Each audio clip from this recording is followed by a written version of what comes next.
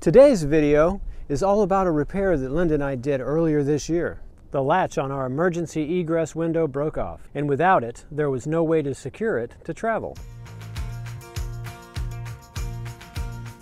So we found the replacement latch online.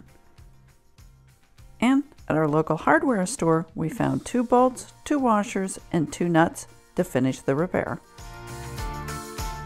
So the first step is to remove the screen. We forgot until about halfway through the project. The next, make sure that window is secure so it stays open. We found a piece on Etsy that holds our window open, but on our camper, it's also easy to remove a few screws and slide it off.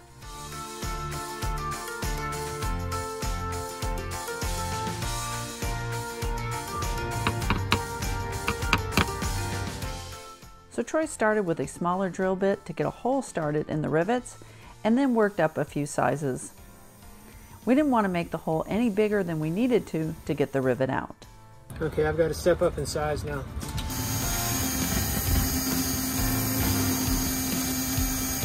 I'm trying to snatch it out, you know? Alright, it's loose on my side. I'll have it out in one second. So the first rivet came out pretty easy, but the second one we ended up using the pliers to gently pull it out rather than using a bigger drill bit and potentially making the existing hole in the aluminum frame even bigger.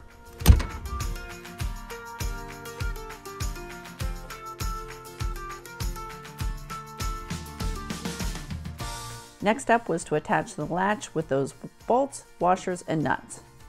And we did use some Loctite glue to keep them secure.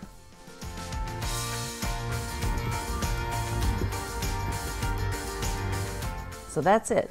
Now we've traveled about 3,000 miles and stayed in the camper about a month. And so far, the repair is holding up just fine.